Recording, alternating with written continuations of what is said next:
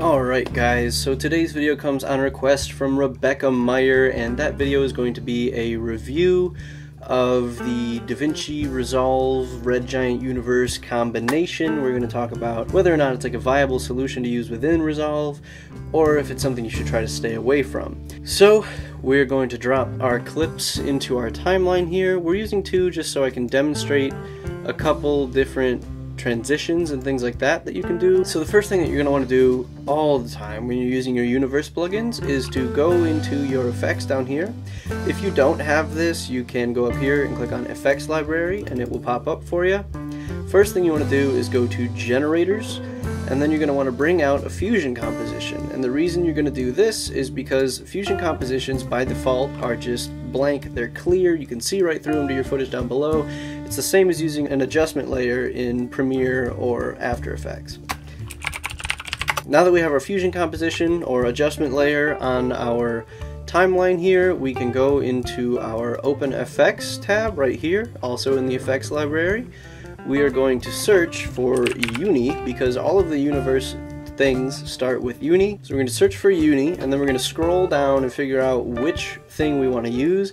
Before we put any of these on our footage though, we need to come out here to our fusion composition, right click it, hit new compound clip. We're just going to call this one text test and then now you'll see that it changed completely from what it was as like a purple thing to now it actually looks like some footage, like a clip that you dragged in the timeline. But it's still clear and we can apply whatever effects we need to apply to that clip.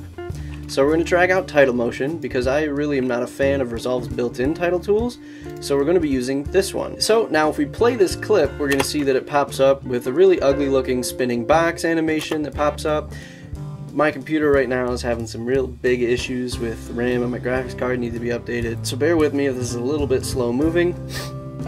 But you're going to have this and then you're going to be able to um, do this with just about anything. So you come up here and if you don't see this window, you're going to want to click on Inspector and then this will pop up for you probably like this. You want to click on Open Effects up here. You can edit your text by clicking Edit Text. You can make it say whatever you want like tutorial and then you got a mash tab or you could just click into it and then we're to hit text and this is where you would change all of your fonts, all of your text colors, things like that. You can change them over here in these menus but I like to do it over here just so it's like a one-stop shop and then you're done. Alright, so once you have that done, you're going to hit play out here, you're going to check it out. It's going to do the same animation, but now it says tutorial text because that's what we changed. I find that Red Giant Universe has a lot of very nice presets that you can use in order to build your own, or you can just use them. Like their lower thirds are very nice, and if you want to apply one of these, all you have to do is double click it, and then it'll show up looking like this. So now when we watch it back, it's going to come out and it's just going to be a nice lower thirds, left side sort of thing. And if you want to change them individually, like if you don't like presets, you just do all that in the menus over here. So in order to get rid of effects, you just come up here, you hit this little trash can, effect is gone, it's just a blank layer again.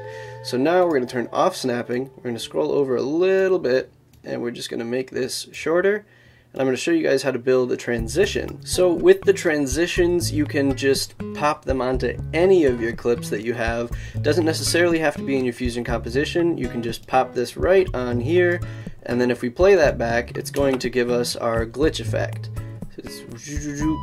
And then it cuts into the next clip. Little choppy there, but that's how you do it. With all of these transitions, you can pretty much do the same thing. If they're not working properly, or if you want to do it a different way, like if you want to find glitch up here, and you want to use the stylize, you can pop that one on your fusion composition and then that is going to hold the glitch. So it won't be built into your footage. It'll be on top of it and then it'll glitch right there and boom you're into your next clip. And it's as easy as that. So you can use them right in your effects library down here and you either apply them to a fusion composition or you just put them directly into the clip if it's a transition. It's as easy as that. I highly recommend picking up Universe. Doesn't really matter what editor you edit in, it's going to be usable in most of them. It's definitely usable in Resolve, and I know that it's usable in Premiere, and it's really easy to use, and it speeds up the process, and it makes your edits look a lot nicer when you use it properly.